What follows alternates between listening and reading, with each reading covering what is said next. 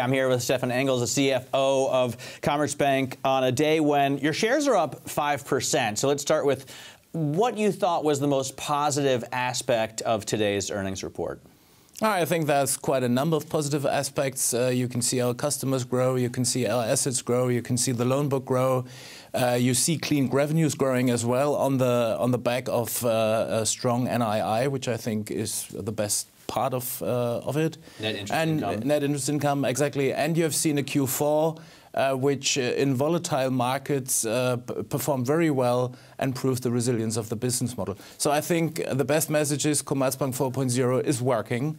Um, and that is, uh, I think, a clear proof uh, what we did in 17 and 18. Now, if I look at though the targets that you have had to abandon so far, last time we spoke, you had to um, abandon your, your 2020 revenue target today. Uh, you said you're not going to make 6% return on tangible equity, and you're not going to be able to get headcount down to 36,000.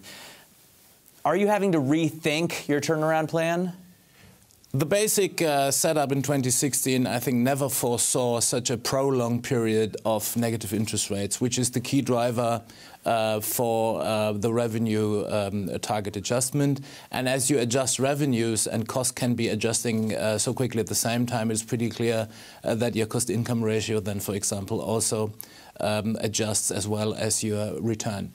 Uh, I think the more important thing still is that what we have been doing is, is paying off, albeit not at the pace and the steepness of the approach as we would have originally wished for, but it's working, it's paying off, it's doing its job.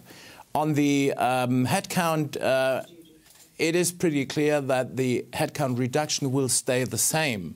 Uh, which means that we will um, um, cut about 9,600 uh, jobs gross what we will do in parallel, and that's a learning from 17 and 18 with our campus setup, that doing uh, uh, that doing agile projects with uh, a number of external consultants is not the most effective way. So what we are doing basically in uh, 19 and 20 is setting up Campus 2.0, swapping project cost uh, into um, FTEs which then uh, will uh, make us uh, a lot more agile, faster in, in the cluster. So you had a big digitalization plan, a big fintech um, uh, uh, plan, and you were using external people and companies to do that. Now you're going to bring it internally, and that's what, where you're going to add. How many employees are you going to add, and how much is it going to cost? Yeah, the original goal was um, 36,000 around. We are now slightly above 38,000, so you can um, guess that that part is encompassing that, plus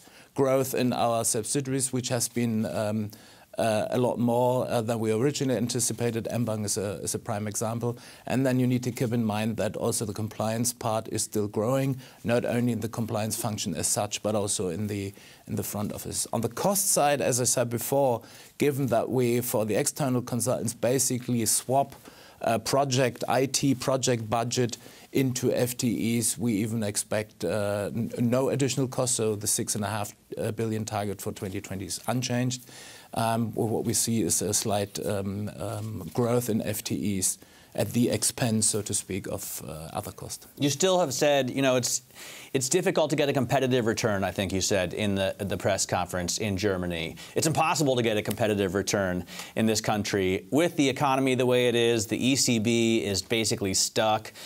Um, how do you do it then? What are your plans? Now, the plan is um, uh, the things are uh, keeping on doing the things that have been working for the last two years, which is basically growing revenue and cutting cost. Um, and in that sense, um, I think um, going for a, uh, a, proper return is what uh, every management team is, is striving for. But again, uh, given that Germany is one of the most deposit richest country uh, around, uh, the negative interest rates is obviously weighing on the business. Yeah, Nonetheless, it's a country that's narrowly skirting a recession right now. Um, GDP growth was zero after a decline in the last quarter. Olaf Scholz and uh, Peter Altmaier would like to see Commerzbank get together with Deutsche Bank. Is that, do you think, a way to improve returns? I think we, we, focus on is facts, um, and um, fact is that uh, the German economy did grow in 2018. Uh, we expect it to grow also in 2019. I expect China to grow. I expect the US to grow, and basically also expect uh, Europe to grow. So we are, from my point of view, nowhere near a recession. When you look at the Venn diagram between Commerzbank and Deutsche Bank, what kind of overlap do you see there? I'm sure you've thought about it, or maybe you call up James von Moltke and you discuss it on the phone. Yeah, I, I, I, really like the very smart approach to the issue, but I don't want to add to any speculation today. All right, let's talk about then consolidation in general in the industry. Does it have to happen in order for banks to make returns? Again, same uh, same issue that I just said. I don't want to add anything to that speculation. I think there has been enough said in the past uh, and, and written as well. So that's not the topic. Let's talk about a sure thing. Brexit uh, looks like it's going to happen, possibly on time, March 29th. Um, I know you're moving some bankers already out. Uh, how much of your business do you want to move out of London? And how bad will it be for business if it's a hard Brexit? Now, the basic approach is that we want to serve our UK customers uh, uh, with our London team, and that is uh, what the plan is. We have restructured the London operation for other reasons already in 2015 and 2016. So what we have there is basically a very focused setup for our UK business. There's also the EMC business, which we have just sold to SocGen, so that makes it even a little smaller.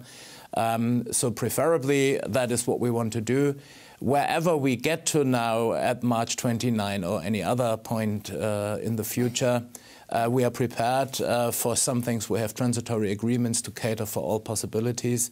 But again, the focus is uh, to stay in London and serve our business there. Yeah. Let me finally ask you about um, talent. We talked a lot about headcount and uh, employees. Retaining, bringing on new talent must be difficult with what's happened to the stock price. You know, German banks are very much underperforming. How do you get people to come, the smartest, the best, and the brightest, to come work at, at Commerzbank? There's a variety of people, and again, looking at uh, what we are planning uh, on the campus side uh, and what we have achieved on the campus side, uh, that is something that's very attractive, especially to the younger, more digital, agile um, generation. They are not necessarily uh, coming for share price, variable pay, or other perks. They have a different set of, of, uh, of assumptions or wishes uh, that are indeed very best uh, catered in these somewhat uh, agile cluster type of organizations. So attracting talent for the relative stuff is, uh, for the relevant topics is not a problem.